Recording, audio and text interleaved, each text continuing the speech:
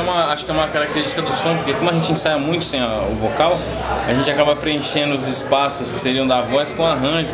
Então o som acaba ficando diferenciado, talvez até por causa disso. Essa diferenciação, cara, em, três, em seis CDs, assim, mudou alguma coisa? Mudou. Essa- Mudou. Acabou que o som meio que. Não digo que é que nem um bom vinho. envelheceu junto com a gente, né? Bacana. Nós, quando começamos assim em 93, 94, a gente tinha uma postura diferente, nós tínhamos. ouvia outro- eram, eram mais novos, né? Nós ouvíamos outros sons, éramos influenciados por outras bandas. Gente- Aí conforme foram, foi passando os anos, hoje a gente é, foi somando todas essas influências, né? Lapidando tudo isso e tentando sempre melhorar a qualidade do som.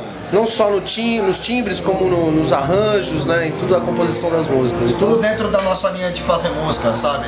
Quem ouve, quem conhece garagem desde o começo sabe que hoje em dia também é garagem, porque pela, pelo estilo do vocal, do farofa, pelas guitarras, pela batera, do Daniel, como é, as linhas de baixo. Então muda um pouco porque tu vai começa a ouvir som novo, a gente sempre ouve muita coisa diferente, fora rock and roll. E fora o, o, o lance de ouvir sons novos, diferentes em cada momento, cada disco, a própria evolução do, do- da gente como músico, Como pessoa, é, individualmente. A gente acaba se aprimorando, deixando de fazer. No começo acho que talvez tivesse, fosse, a gente fosse meio afoito para tocar. Com o tempo você vai sabendo mais encaixar as coisas nos seus devidos lugares. O som vai ficando mais coeso.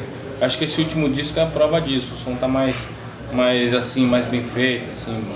Não sei explicar, acho que tá mais evoluído mesmo. Acho que a gente chegou num, num patamar bacana. Padrão. Clipes.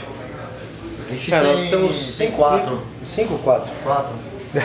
Quatro. De- desse último disco a gente não conseguiu fazer no clipe de música, chegou a rolar de a gente fazer, mas acabou não, não rolando. Quem foi que fez os outros, assim? É, O primeiro disco foi feito por um cara em Santos mesmo. Farofa, O Farofa, o toda Farofa em conjunto com o Zé. Esteves, né? O primeiro disco foi da música When All The Things, foi a última que a gente tocou hoje, do primeiro disco. Então para cada disco, disco cheio, né, full length, a gente fez uma- um, um, clipe. um clipe. Então tem o clipe da The Things, Tem da clipe da Foi o Cadu que fez. Tem o clipe da, da Embedded Needs, que é um É, clipe é ao da. que tem imagem da gravação do disco ao vivo e tudo, do lançamento do disco ao vivo. Foi feito em Santos, foi feito pelo Xing, pelo Pliny.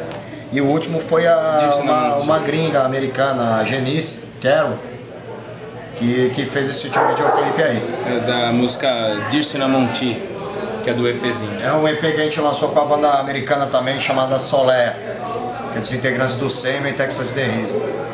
Bacana. Lieutenant Bench.